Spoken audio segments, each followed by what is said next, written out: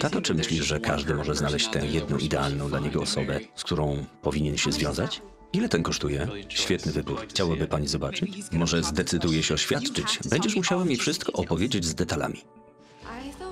Myślałam, że mamy randkę. To tylko kumple z koledżu, nie zostaną długo. Dlaczego właśnie mi się to przydarza? Najpierw Price, teraz Stewart. Wygląda na to, że uniknęłaś katastrofy, dzięki Bogu. Obawiam się, że on nie chce, abym w ogóle wyszła za mąż.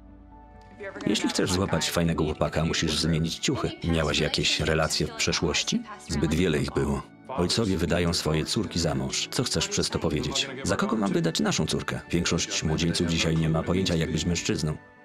Szukam mojego przyjaciela. Czy zna go pani? Co tu robisz? Czekałeś na kogoś innego? Stojąc za ladą, widziałem, jak ludzie zakochiwali się w sobie przy kawie. Zakochać się można wszędzie i zawsze. Drew jest chyba w stodole, jeśli chciałbyś się z nim zobaczyć.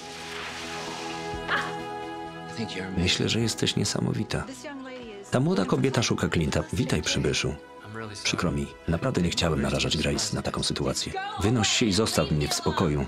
Decyzję o tym, kogo poślubisz, będziesz musiała podjąć sama. Ja ci mogę pomóc, doradzić, jeśli mi zaufasz.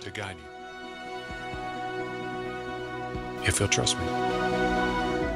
Pierścionek z diamentem.